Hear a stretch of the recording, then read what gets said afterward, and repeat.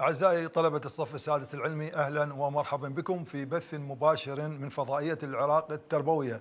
طلبتنا الأعزاء سنحاول في بثنا المباشر لهذا اليوم إحداث آه، مراجعة سريعة واستعراض لمادة الفصل الأول والثاني وسنكون إن شاء الله مستعدين للإجابة عن كل أسئلتكم واستفساراتكم بمجرد الاتصال على الرقم الظاهر أسفل الشاشة.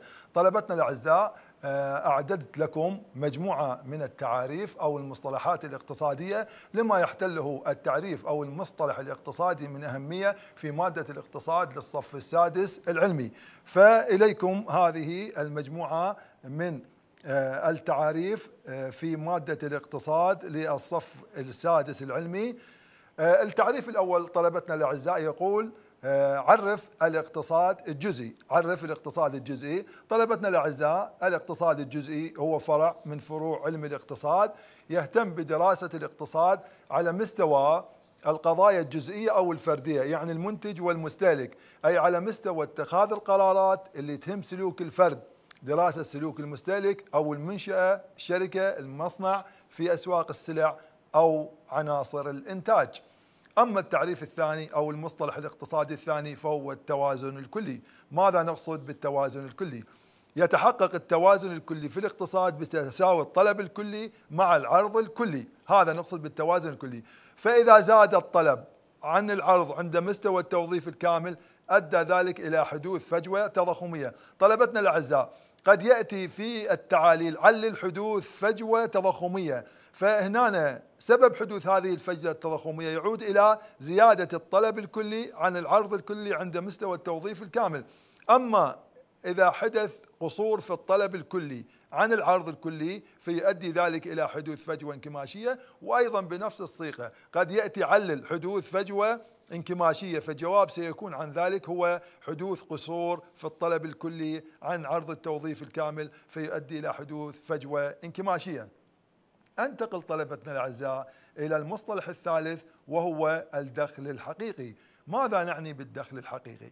نعني بالدخل الحقيقي هو مجموع قيم السلع والخدمات التي يحصل عليها أصحاب عناصر الإنتاج في مقابل إنفاقهم للدخول النقدية.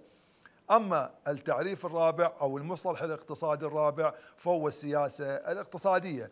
ماذا نعني بالسياسة الاقتصادية؟ نعني طلبتنا الأعزاء بالسياسة الاقتصادية هي استخدام مجموعة من الأدوات أدوات مالية أو نقدية أو سعرية، يعني في أحد الامتحانات الوزارية جاء هذا بصيغة الفراغات، السياسة الاقتصادية هي استخدام مجموعة من الأدوات فراغ وفراغ وفراغ، مطلوب من طلبتنا الأعزاء الإلمام بالمصطلح الاقتصادي وحفظ هذا المصطلح بشكل دقيق، بغيه التأثير بصورة مباشرة أو غير مباشرة على سلوك وحدات صنع القرار لتحقيق أهداف اقتصادية معينة. إذا طلبتنا الأعزاء كان هذا مجموعة من التعاريف تناولناه في المقطع الأول من بثنا المباشر لهذا اليوم. أنتقل إلى المقطع الثاني. من مجموعة المصطلحات الاقتصادية أو التعاريف التي أعددتها لكم لهذا اليوم وهو الإنتاج. ماذا نعني طلبتنا الأعزاء بالإنتاج؟ الإنتاج هو خلق المنفعة أو زيادتها وكل منفعة تساهم بصورة مباشرة أو غير مباشرة في إشباع حاجات الإنسان تعد إنتاجا. فالخبز مثلا يأتي من زراعة الحنطة والشعير ثم يطحن الدقيق ويصنع الخبز ويوزع إلى المنافذ وهذه جميعا تعد إنتاجا. أما المصطلح السادس طلبتنا الأعزاء فهو المقايضة. ماذا نعني بالمقايضة؟ طبعا هي مبادلة سلعة بسلعة دون أن تكون هناك وساطة للتبادل كالنقود مثلا في الوقت الحاضر. أما المصطلح السابع فهو التوزيع ماذا نقصد بالتوزيع؟ هناك تعريفين للتوزيع، التعريف الأول يقصد به توزيع الدخل الناتج عن الإنتاج على المساهمين في عملية الإنتاج، هذا التعريف الأول، أما التعريف الثاني فهو توزيع الدخل القومي على عناصر الإنتاج اللي ساهمت في خلق الناتج القومي. أخيرا طلبتنا الأعزاء ضمن قائمة المصطلحات الاقتصادية أو التعريفات التي أعددتها لكم ضمن الجزء الأول هو الرصيد. ماذا نعني بالرصيد؟ الرصيد هي كمية أو هو كمية ثابتة يمكن قياسها في لحظة زمنية معينة مثل الآلات المخزون السلعي رأس المال الثروة كمية الذهب الرصيد في البنك. وتلاحظون دائما يذكر مع الرصيد تاريخه. فمثلا نقول في تاريخ 13 12 من عام 2014 كان رصيد خطوط شركة الجوية العراقية هو 150 مليار دينار عراقي. إذا طلبتنا الأعزاء كانت هذه مجموعة من المصطلحات وأخيرا لدينا آخر مصطلحين اقتصاديين في هذه الجهة هو الناتج المحلي الحقيقي، ماذا نعني طلبتنا الأعزاء بالناتج المحلي الحقيقي؟ نقصد بالناتج المحلي الحقيقي هو الناتج المحلي بالأسعار الثابتة. أي بعد استبعاد التضخم. وهذا يعد مقياسا مناسبا للمقارنة مع البلدان الأخرى. أخيرا طلبتنا الأعزاء المصطلح العاشر وهو السلع والخدمات الرأسمالية. ماذا نعني بمصطلح السلع والخدمات الرأسمالية؟ هي السلع التي لا تنتهي بمجرد استعمالها. بمجرد استعمالها في الإنتاج مثل السلع والخدمات لمدة معينة وإنما تستخدم عدة مرات في العملية الإنتاجية مثل المكاين والآلات، الجسور، الطرق، الكهرباء إلى آخره. هذه كانت مجموعة طلبتنا الأعزاء مجموعة من المصطلحات الاقتصادية وكما أشرت المصطلح الاقتصادي أو التعريف هذا يستوجب من طلبتنا الأعزاء حفظه وعدم تأويله لأن في ذلك تشويه للمعنى وإنما تحفظ كما آه، وردت في المنهج. أنتقل طلبتنا الأعزاء إلى سؤال آخر وهو علل. والعلل أو أذكر السبب معنى التعليل أن أذكر السبب. فلدينا مجموعة من الأمور مطلوب من طلبتنا الأعزاء أو مجموعة من التعاليل مطلوب من طلبتنا الأعزاء وضع تفسير لهذه التعاليل. فالتعليل الأول يقول يمكن التعليل الأول يقول يمكن للرفاهية الاقتصادية أن تؤدي مع الزمن إلى ارتفاع مستوى رفاهية المجتمع.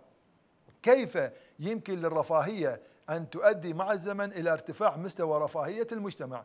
الجواب عن هذا هو هذا يرتبط بارتفاع متوسط دخل الفرد المتأتي من ارتفاع الدخل القومي. نحن نعلم أن الدخل القومي عندما يرتفع الدخل القومي معنى ذلك أن متوسط دخل الفرد ارتفع. كيف ذلك؟ لأن المتوسط دخل الفرد نحصل عليه من خلال قسمة الدخل القومي على عدد السكان. التعليل الثاني طلبتنا الأعزاء تسعى الدول المتقدمة إلى الانتقال من المفهوم الضيق للعدالة الاقتصادية إلى مفهوم أوسع.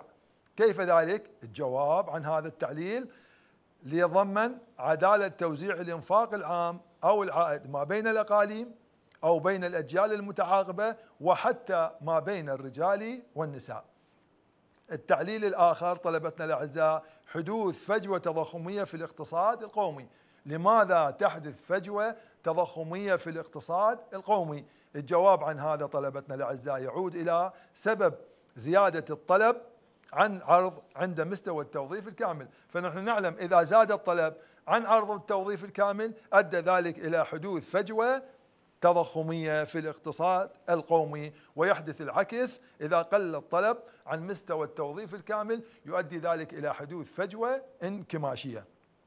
أنتقل طلبتنا الأعزاء إلى مجموعة أخرى من التعاليل في بثنا المباشر لهذا اليوم وهو التعليل التالي. يقول التعليل يعد الناتج القومي الإجمالي من أكثر المقاييس شيوعا واستخداما لقياس الإداء الاقتصادي. طلبتنا الأعزاء هذا التعليل تكرر أكثر من مرة في الامتحانات الوزارية لذلك يمكن أن نعتبره من التعاليل المهمة في مادة الاقتصاد للصف السادس العلمي.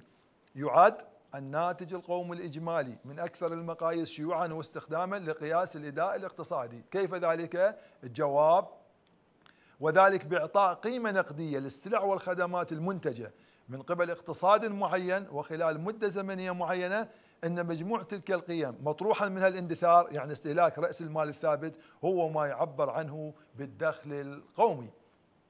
أنتقل إلى تعليل آخر طلبتنا الأعزاء. الناتج المحلي الحقيقي. يعد مقياس مناسب للمقارنة مع البلدان الأخرى.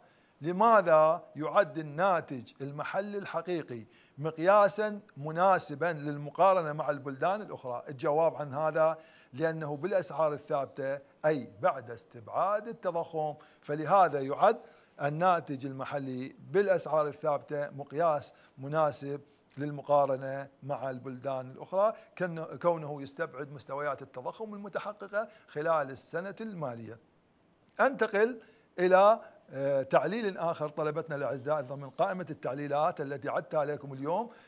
قيمة الناتج المحلي الإسمي يعني الناتج المحلي بالأسعار الجارية غير صالح للمقارنة مع البلدان الأخرى. يعني بالأسعار الثابتة يصلح للمقارنة لكن بالأسعار الجارية لا يصلح للمقارنة مع البلدان الأخرى. الجواب عن هذا لأنه يأخذ بنظر الاعتبار تغيرات الأسعار أي إنه لا يستبعد مستويات التضخم المتحققة خلال السنة. فلذلك لا يعد مقياسا مناسبا للمقارنة مع البلدان الأخرى. أنتقل إلى التعليل السابع طلبتنا الأعزاء. الناتج القومي والدخل القومي وجهان لعملة واحدة. طلبتنا الأعزاء هذا التعليل تكرر أكثر من مرة في الامتحان الوزاري. لماذا الناتج القومي والدخل القومي وجهان لعملة واحدة؟ آه، الجواب عن هذا يكون في شقين. الوجه الأول الناتج القومي الوجه الأول هو الناتج القومي السلع والخدمات المنتجة خلال سنة واحدة. وهي متنوعة ومختلفة. سيارات مكان ألبسة أقمشة ألبان خضروات إلى آخره. وهذه جميعا هي سلع غير متجانسة مما يتعذر حصرها وجمعها. يعني قد يأتي تعليل ضمن هذا السياق. لماذا؟ آه، صعوبة احتساب الناتج القومي بالوجه الأول يعني عن طريق حساب قيم السلع والخدمات المنتجة. الجواب عن هذا لأنها كثيرة.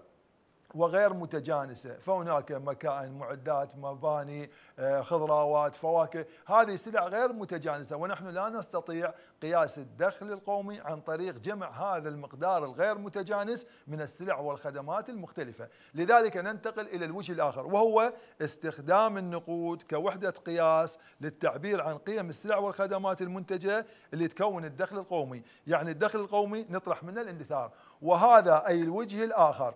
أو الوجه الثاني مقياس يصلح لاحتساب الدخل القومي. لماذا؟ لأنه آه، باستخدام النقود يعني التعبير عن قيم السلع والخدمات عن طريق القيمة النقدية. يعني ضرب الكميات المنتجة من السلع والخدمات في الأسعار السائدة فنصل إلى القيمة النقدية. وهنا يسهل احتساب الدخل القومي عن طريق الوجه الآخر أي استخدام النقود.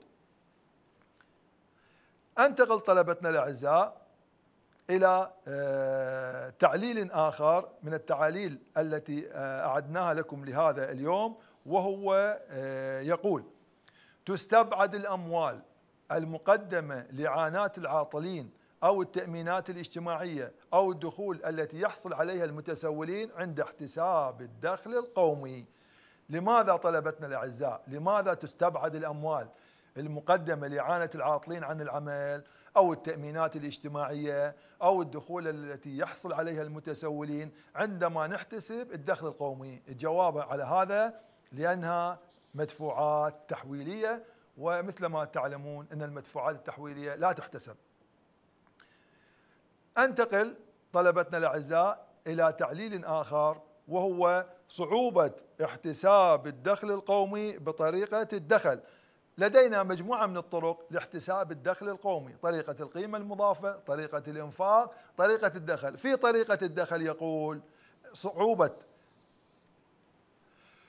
صعوبة احتساب الدخل القومي بطريقة الدخل.